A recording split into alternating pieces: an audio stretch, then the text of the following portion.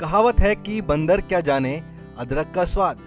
लेकिन इंदौर जू के बंदर को देखकर इस कहावत को लेकर आपका विचार बदल सकता है। इंदौर जू के फ़ूड जोन में घूमते और यहाँ के आने वालों के साथ बैठकर खाने पीने का स्वाद लेता है। यह बंदर चाय भी पीता है, लेकिन बस अदरक वाली चाय।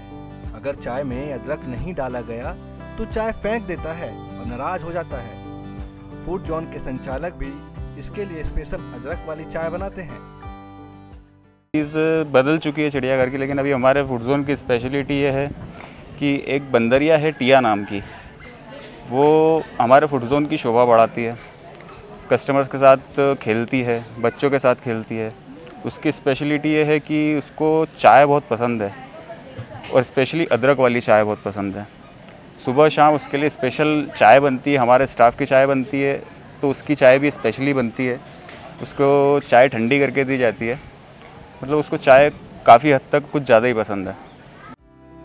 इंदौर के कमला नेहरू प्राणी संग्रहालय में लाए गए इस बंदर को एक रेस्क्यू के दौरान बचाया गया था। करंट लगने से यह घायल हो गया था।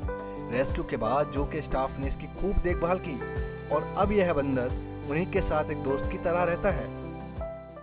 दो, एक दिन का ही था। जस्ट जिस दिन बर्थ हुआ उसके नेक्स्ट डे इसकी मदर को इलेक्ट्रिक शॉक लगा था और इलेक्ट्रिक शॉक लगने के कारण उसकी डेथ हो गई स्पॉट पर ही और झटका, बिजली का झटका लगने के कारण ये मदर से छिटक के अलग हो गया था क्योंकि बच्चा एक दूसरे, दो दिन का ही था। और उसी दौरान फिर ये कुछ गाँव वालों ने फॉरेस्ट डिपार्टमेंट को सूचना दी। फॉरेस्ट डिपार्टमेंट इसको छोटे से कार्टन में, रुमाल में रख के लेके यहाँ पे आए थे। अदरक का स्वाद पहचानने वाला यह बंदर कुछ खास है।